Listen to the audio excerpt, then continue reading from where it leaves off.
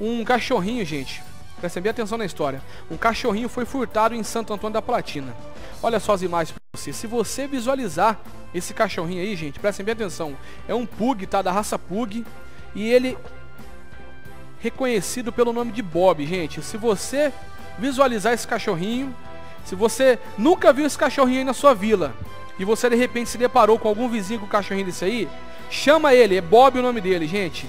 Certo? A Maísa Silva está desesperada, a Maísa Silva e toda a sua família estão desesperados para encontrar esse cachorrinho, gente, que foi furtado em Santo Antônio da Platina, viu? O homem passou lá, o homem estava é, rodeando a casa lá, certo? E Posteriormente, a família deu a falta do cachorrinho aí. Olha só, gente.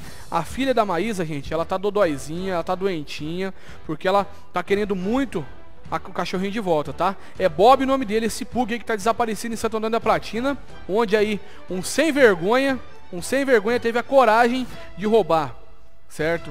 Não pensou nem nas filhas dele, se tiver filha ainda, né? Foi lá e roubou o cachorrinho, gente. Olha só pra você ver a situação do crime aqui em Santo Antônio da Platina.